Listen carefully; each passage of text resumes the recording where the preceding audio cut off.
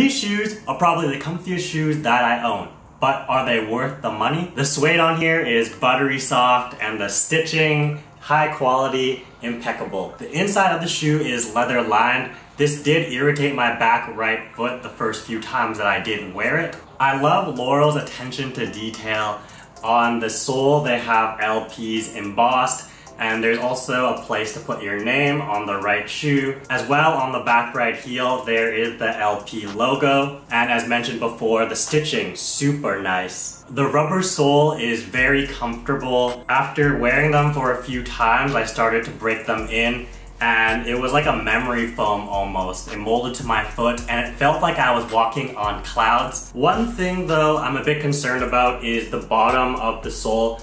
I've only worn these for like five to six times, but as you can see, they're kind of getting a bit scuffed up, so kind of worried about the durability here. So these shoes do look like a more sophisticated boat shoe. I love the clean, minimalist aesthetic, and I think that's one thing with the cheaper alternatives you can't find something this clean. Either the soles are off or the uppers are off. They just don't look like the original Loro Piana Summer Walk. These shoes retail for $1,300. These shoes fit true to size. I'm a 10 and a half US, so I got a 43. So do I recommend these shoes?